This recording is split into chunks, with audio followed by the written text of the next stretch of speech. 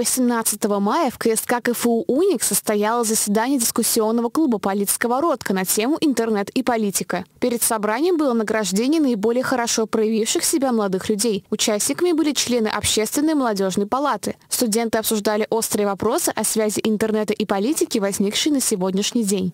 Э, здоровья, благополучия, процветания и новых проектов и новых э, дискуссий.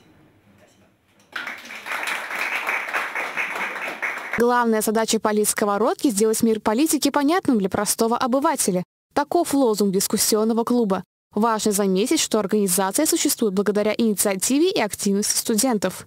Сегодня мы отмечаем а, небольшой, но очень важный юбилей, пятилетие а, с момента функционирования этого дискуссионного а, клуба.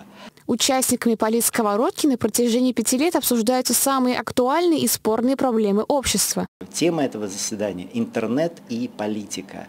Как э, интернет повлиял на политику в последние годы.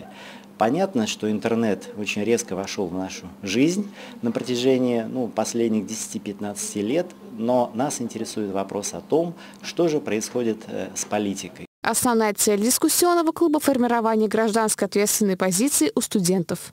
Влада Крайнова, Владислав Михневский, Универньюз.